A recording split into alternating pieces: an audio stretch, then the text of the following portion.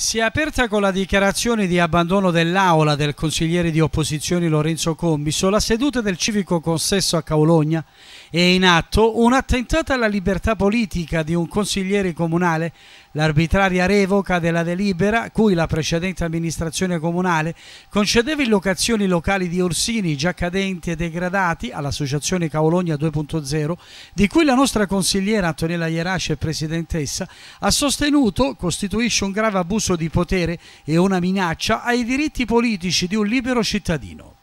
La minoranza continuerà a disertare l'Aula fin tanto che non avremo udienza dal signor prefetto cui è demandato il controllo sugli organi per esporre la grave ed illegale situazione venutasi a creare a Caologna.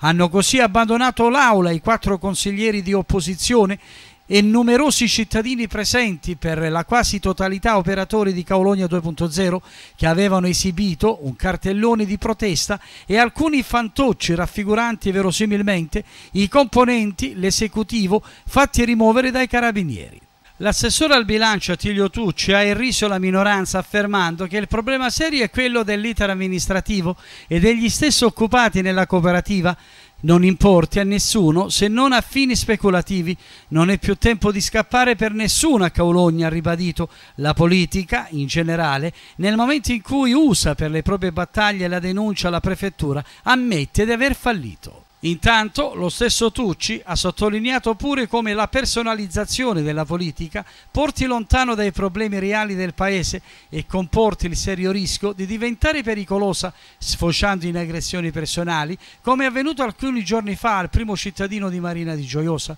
Precedendo poi su quanto previsto in agenda, l'assessore ha fatto il quadro della situazione finanziaria dell'ente, gravemente indebitato per l'erogazione dell'acqua, dell'energia elettrica, il conferimento dei rifiuti e gli oneri da corrispondere per incarichi legali.